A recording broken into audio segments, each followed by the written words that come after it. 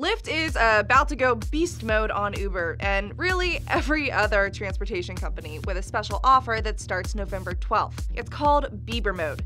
If you love Justin Bieber and can't wait another 24 hours for his new album, Purpose, to release, have no fear. Just go for a Lyft ride. The deal will run from November 12th to November 19th.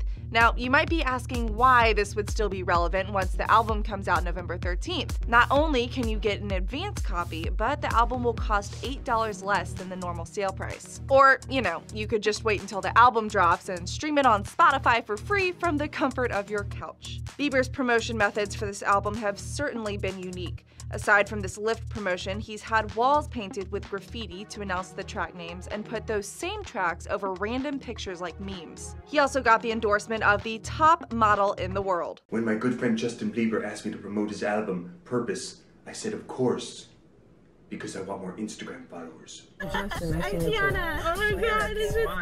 I'm like shaking. This Lyft promotion will obviously apply to a very niche market, but who knows? Maybe the Biebs himself will surprise you when you get in the car. For Newsy, I'm Lexie Hammesfahr.